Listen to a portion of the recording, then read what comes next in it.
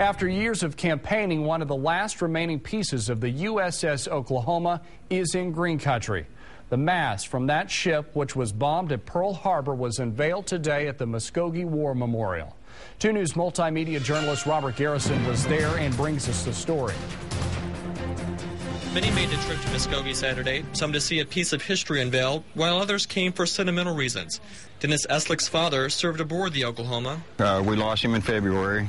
Uh, he was one of the 32 cutouts out of the belly of the ship, and they cut him out 28 hours later. He was one of the last survivors they got out. This is the first time he got the chance to see up close a part of the ship his father served on. He hopes it will serve as a reminder for future generations. We're going to try to keep this memory alive for everybody. The young ones need to remember what, what they died for and what it's all about.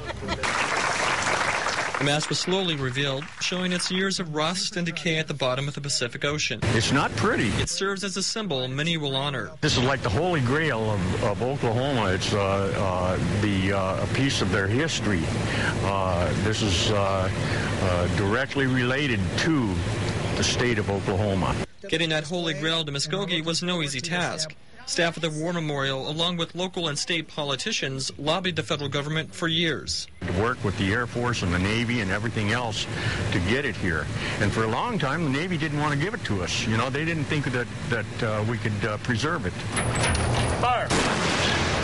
One of the last remaining pieces of the USS Oklahoma will now sit at the Muskogee War Memorial. The ship's your mother, and this is this completing your picture. Robert Garrison, 2 News works for you. That mast was recovered in 2002 and sat on an island for years before it was transported to the museum. Staff will be cleaning it up before setting it in a permanent display.